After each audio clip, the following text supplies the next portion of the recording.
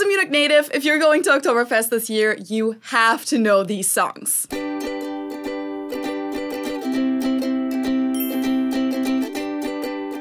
Servus and welcome back to my YouTube channel. My name is Feli. I'm originally from Munich, Germany, but I've been living in Cincinnati, Ohio on and off since 2016. But when you see this video, I'm actually already gonna be in Munich, home sweet home, because tomorrow, Saturday, September 17th, is the first day of Oktoberfest, or Wiesn as we say in Munich. And when I say Oktoberfest, I mean Munich Oktoberfest, which to me will always be what I mean when I say Oktoberfest. All the other events events in the world that are modeled after it, I'll always just call Cincinnati Oktoberfest or Fredericksburg Oktoberfest or whatever their names are. But when I just say Oktoberfest, I'm exclusively referring to the festival taking place in Munich. A lot of people around the world also somehow believe that Oktoberfest is like a nationwide holiday or a cultural festivity that all Germans celebrate, kind of like Carnival or Christmas, which is actually not the case. Oktoberfest is simply an event, a Volksfest, a folk festival, or internationally also often referred to as Beer Festival,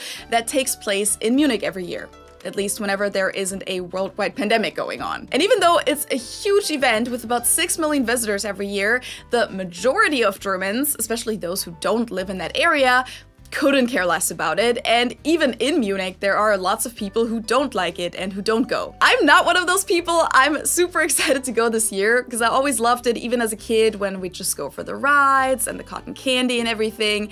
And it's been five years since the last time I went, so it's going to feel really great to be back. By the way, quick reminder I'm currently doing an Oktoberfest sale on felifromgermany.com, so all of my Bavarian beer mugs are 15% off right now, all the way through October 3rd, which is the last day of Oktoberfest 2022.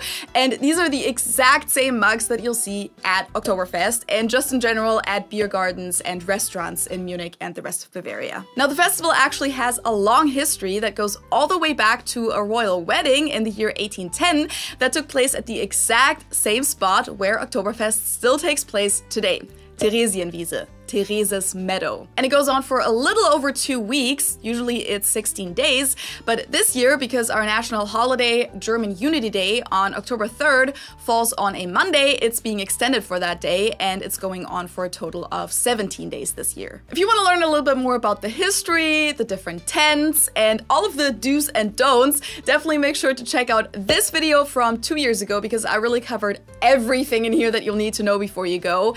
Then I also have a video on all of the myths about Oktoberfest, including the chicken dance, which Spoiler alert, you won't come across in Munich. And if you want to learn a little bit more about Bavarian Trachten, the traditional clothing, check out these two videos. In this one, Ben and I talked about how to properly wear Dirndl and Lederhosen and where you can get them in the US. Oh, and if you want to make sure that you pronounce all the German beer brands and breweries correctly, I have a video for that as well. I really have quite the collection of videos by now. But today, I want to tell you a little bit more about the music at Oktoberfest so that those of you who are going this year can prepare a little, maybe learn some lyrics, but I'm sure this is interesting for everyone else as well, just to kind of get an idea for what Oktoberfest is like and what these crazy Germans listen to when they're drunk. And since you'll need the right wireless earbuds to listen to these songs all day long and practice for Oktoberfest, this video is sponsored by Raycon and you'll even get an amazing 50% off your Raycon purchase with my link in the info box below, but I'll tell you more about that later. First, let's talk about the basics. So Oktoberfest is kind of like a big state fair, right? With lots of rides and booths and attractions. And when you walk over it, you'll hear different music coming from everywhere. But what I'm talking about today is the music that you'll hear inside the big beer tents. And there are 14 of those. They're basically like huge beer halls and they all have a stage for live music. Now, every tent has kind of a different vibe vibe and obviously different bands because they can't all play at different tents at the same time. But usually you'll get your traditional brass music throughout the day and then in the afternoon or at night there will be party bands with a singer and that's usually when everyone slowly gets up on the benches and starts to dance and sing along. And there are certain songs that you'll just hear over and over again and I tried to kind of divide these into categories of English speaking songs because yes, there's going to be plenty of that German classics, so like German speaking songs that are a little bit older and have become iconic over the years. Bavarian songs, by which I mean that they have Bavarian dialect in them, which in general is something that's very present at Oktoberfest and German party schlager slash Ballermann songs, even though you probably won't know what Ballermann is. But this category is full of relatively new songs in standard German with very simple and catchy melodies and sometimes kind of vulgar and sexist lyrics. Now I'm going to try and show you snippets of the songs as I go through the list, but I'm not quite sure how this is going to work out with the copyright and everything, so I can't promise anything, but I'll also definitely make sure to link a few Spotify and YouTube playlists with these songs in the info box for you. And since I definitely won't be able to cover all of the songs in this video, if you feel like I forgot an important one, please go ahead and add that in the comment section below. First and foremost, a song that even the brass band bands will play regularly throughout the day is this one.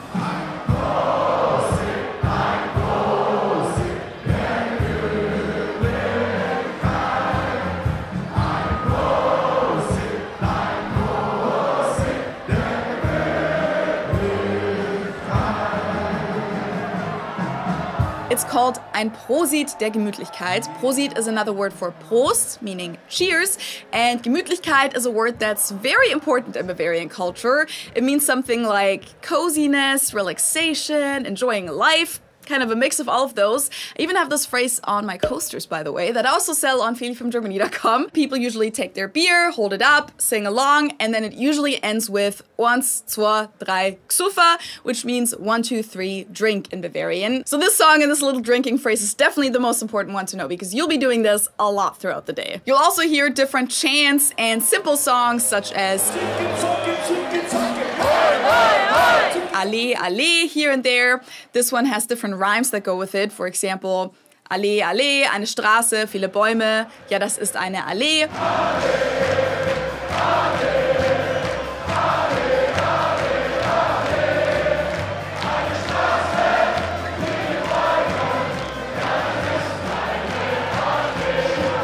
You'll also hear the band say Die Krüge, the beer mugs, to which the crowd will respond hoch, up.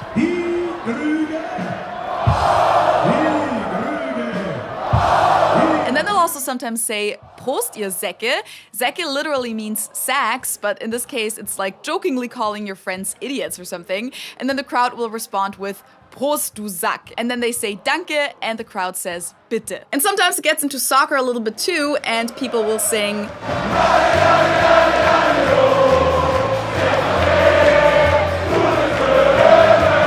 Which is an insult towards the soccer team of Borussia Dortmund that are the arch enemies of FC Bayern München. Now, getting into the list of English speaking songs, the second most important song of Oktoberfest is probably this one Angels by Robbie Williams.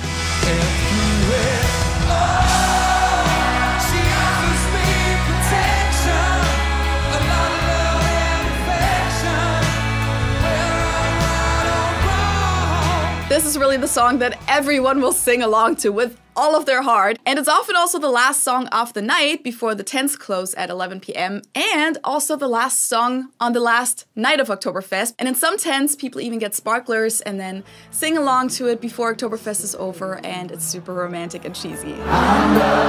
crazy thing is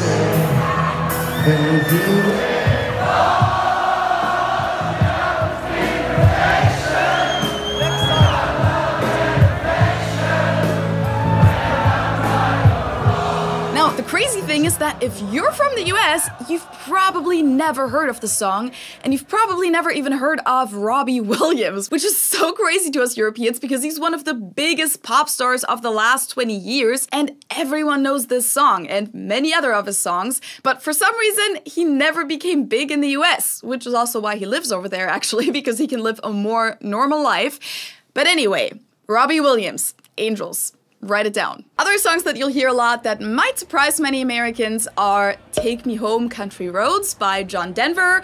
That one's definitely an Oktoberfest classic.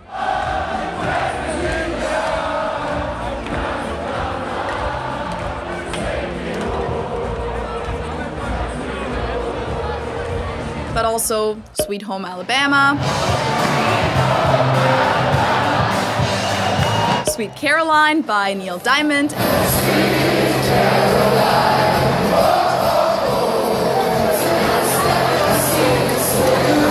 As well as songs like YMCA. Songs that everyone can do a dance to are always good. Summer of 69, Bon Jovi's It's My Life, as well as the song Life is Life by Opus, who the Fuck is Alice, and many other English speaking hits such as We Are the Champions or We Will Rock You by Queen. One song that also became a big party song in Germany, I think because it was covered at some point, is Hey Baby, which originally is by the American singer songwriter Bruce Channel from the 60s.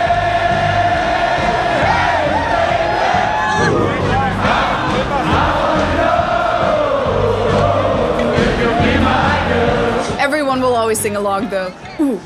Ah, now in those Oktoberfest playlists that I have for you guys, a lot of these songs actually aren't in their original version anyways, but they're on there in some kind of party cover version. Now, before we get into the next category, I want to give a quick shout out to today's sponsor, Raycon, and their wireless everyday earbuds that are literally perfect for everyday life. They're affordable, but still have an amazing sound quality and three different sound profiles that are perfect for listening to music or podcasts, because that's what I do mostly. I always have them in when I wander through the house to feed the cats, water the plants, all that fun household stuff, or when setting up furniture, for example, which I've been doing a lot recently. I just like to listen to my favorite podcasts while I do that. And what's really cool is that I don't even need to worry about where my phone is because you can walk up to 33 feet away, so 10 meters away, and you'll still have perfect quality with these. And I don't need to walk back to my phone when I want to pause it or something either, because I can control everything with the buttons on the earbuds. I can play and stop, skip to the next episode, and regulate the volume. And the battery lasts forever too. They have a playtime of 8 hours, and then you just charge them in this case, which has a battery life of 32 hours. So honestly, I only need to charge them every few weeks. But of course, the main reason why I like these so much is that they sit perfectly in my ears and I never have to worry about them falling out. Even when I lay down, I don't have the same hassle with these that I've had with headphones in the past where you can't lay on the side and every time you move, they're falling out. These sit flush with your face and if you have small ears like myself, you can just use a smaller size of the gel tips that they come with and I promise you they won't go anywhere. I even wear them on the plane. Here's a super flattering clip that Ben took of me on our flight to Germany the other day because I don't have to worry about them falling out and rolling underneath the seat. So long story short, if you want to get a pair of Raycons too, you can now get 15% off the already great price. All you have to do is go to buyraycon.com slash Germany or simply click the link in the info box below and believe me, it's worth it. Now let's move on to a few German classics. There's a lot to share about each of these artists and songs, but I'm trying to keep this video as short as I can, so I'm going to limit this to like one sentence per song. We have songs like Marmor, Stein und Eisen bricht by Drafi Deutscher from 1965. This is a true evergreen. I'd argue that almost every German knows this chorus by heart. It says Marmor, Stein und Eisen bricht, aber unsere Liebe nicht. Alles, alles geht vorbei doch wir sind uns treu. Which translates to marble, stone, and iron will break, but our love won't. Everything, everything comes to an end, but we'll stay loyal to each other.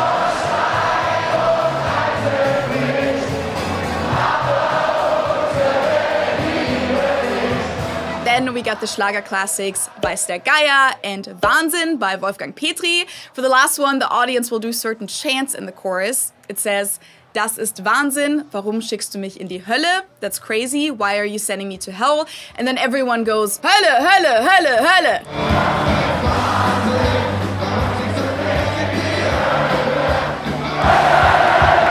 And then there are two more of those parts where the crowd shouts something, but it would be too complicated to explain now. But this could definitely be one of those songs that you might look up the lyrics for and then learn these little chants. Then you'll also hear songs by Nena, for example, like 99 Red Balloons, 99 Luftballons, that I'm sure you all know. 99 Luftballons auf Weg zum Horizont man für UFOs aus dem All. Or irgendwie, irgendwo, irgendwann by her. You'll also hear Verdammt, ich lieb dich by Matthias Reim. Verdammt,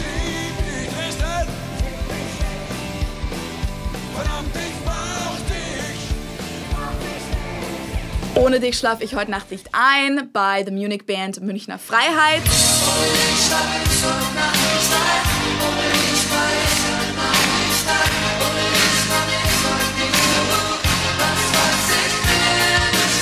Tausend und eine Nacht, where you'll mainly just need to know the one line where they say Zoom. Tausendmal berührt, tausendmal ist nichts passiert.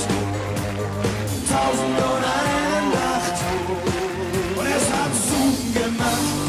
also a few songs by the German punk band Die Ärzte that everyone knows, such as Westerland, which is an area on the German island of Sylt in the North Sea, and they have a song about that.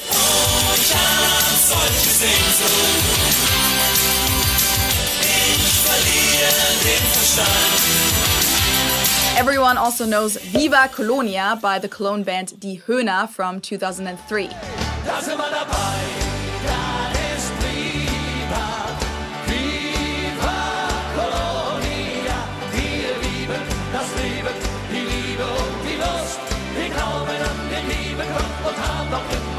But you'll also sometimes hear it sung as Viva Bavaria at Oktoberfest to make it more about Bavaria instead of Cologne. One of those anthem like songs that you'll definitely hear is An Tagen wie diesen by Die Toten Hosen, which is a legendary German punk band that's still active today.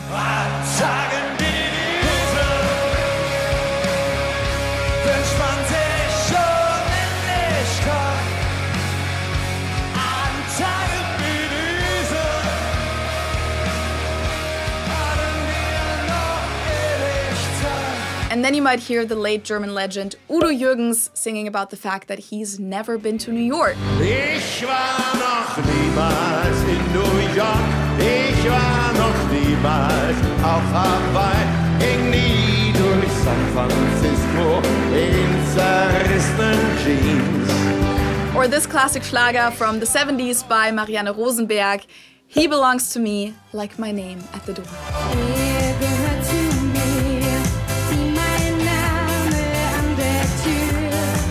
Getting to the songs that contain Bavarian or Austrian dialect or are fully in dialect. First up, we need to talk about this Munich band with the beautiful, not German name of Spider Murphy Gang, or Spider Murphy Gang, as we usually pronounce it. Their song Skandal im Sperrbezirk is not only an absolute banger to this day, the lyrics also couldn't be any more German because they sing about a prostitution free area in Munich. In case you didn't know, prostitution is generally legal in Germany, but for the Olympics in Munich in 1972, they made it illegal in certain areas downtown, so that's the reason for the song.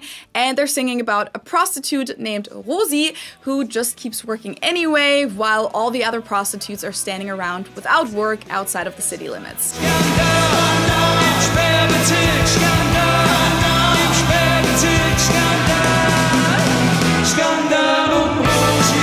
And yes, this is a song that I knew and sang along to even as a kid. That's Germany for you. This song does have a lot of lyrics, so it might be kind of hard to learn them, but you will notice that all of the locals know the song by heart, and you can always just learn the one line Skandal um Rosi. Another popular song by them is Schickeria, which is about the Munich high society.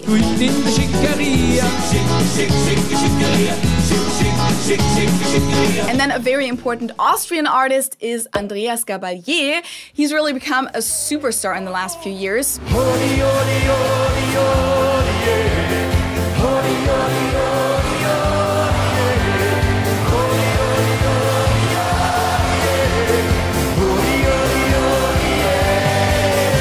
Yeah. Is one of his most popular songs for occasions like these because everyone can sing along in the chorus, even non German speakers. But he also has songs like Ich singe ein Lied für die. Signaliert für die und dann fragst du mich, ob's mit mir tanzen geht. Ich glaub, ich steh auf die. The song Fürstenfeld is Austrian as well, and it's about a town named Fürstenfeld and feeling homesick.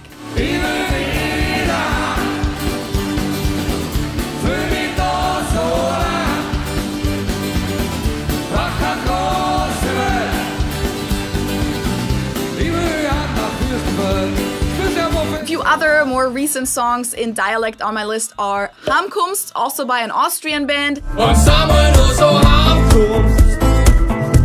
Zum geschiedenen Leid Brenner tut's gut, which was a huge Oktoberfest hit in like 2012 or so.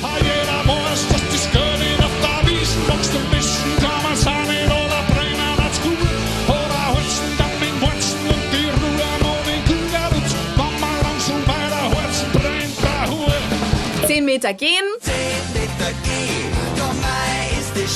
as well as Rock Me and Anneliese by the relatively new band voXXclub.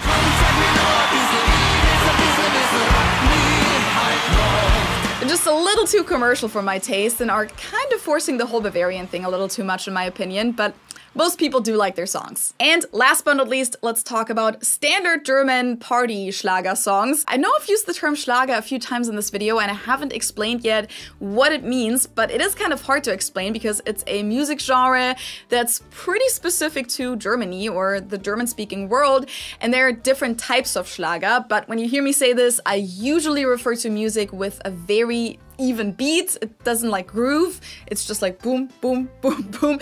It has a simple and catchy melody usually and relatively simple lyrics that are often a little cheesy. And as I said earlier, some of them can also get a little vulgar and sexist, like the song Layla that you probably won't hear at Oktoberfest this year. I've heard that the bands have decided not to play it, but this song was the talk of the summer in Germany because it's very sexist. But anyway, we have major hits like Atemlos by Helene Fischer, who is the biggest Schlager star in Germany nowadays and who has kind of brought Schlager into a new era.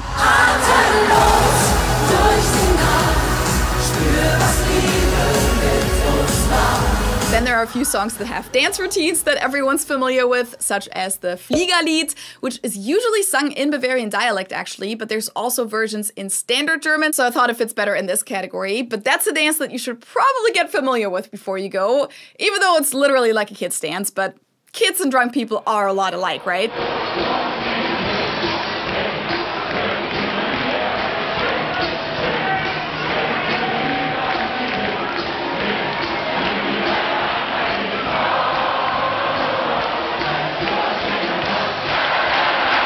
Another song with a very popular dance routine is Cowboy und Indianer. So, yes, the title is Cowboy and Indian. I know.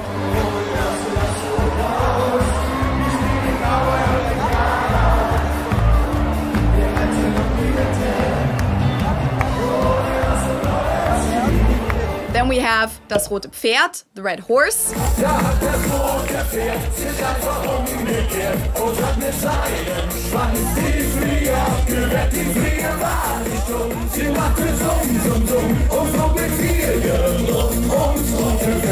Then there are a few different songs by an artist called DJ Ötzi from Austria, who has been making these type of party songs for a long time, and his biggest hit is Anton aus Tirol. That song was huge when I was a kid. Ich Meine gigaschlanken Warensammler waren sie für die Madel, meine Figur, der Natur. He also does sing in dialect, but not all of his songs are in dialect, and they're very party Schlager, so that's why he's in this category. Another song by him would be Ein Stern, for example. Ein Stern, der deinen Namen trägt. And a more recent hit is Cordula Grün by Josh, which is not necessarily as schlagery as the rest, but this is the category it fits the best, I think. And it's about a woman named Cordula Grün, whom the singer would like to ask out on a date. Cordula Grün, du bist mir schwer zu verstehen. Cordula Grün, ich würd dich gern wiedersehen. Cordula Grün, Schatzi schenkt mir ein Foto, Honey, give me a picture, which was also a huge Oktoberfest hit one year.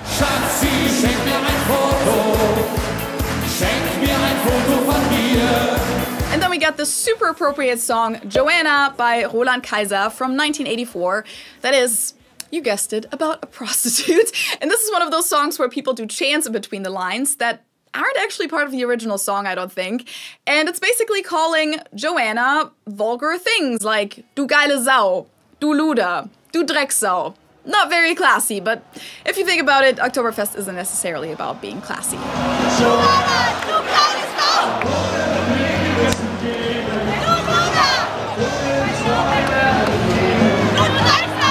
that was the last song on my list for today. Again, feel free to add song titles in the comments below. I'm sure I've forgotten a few important ones here and there. And of course, there are just so many other songs that you'll hear throughout those 17 days of Oktoberfest. But the reason I made this video is that I know how weird it can feel when you're in a new environment at a party and everyone knows songs and dances that you don't know. So I think your Oktoberfest experience is just going to be even more fun if you at least know kind of like what's going on and maybe know a few lines here and there. Now, all that's left say is have an amazing time at Oktoberfest if you're going and maybe I'll see you there. Auf eine friedliche Wiesn, Prost and tschüss!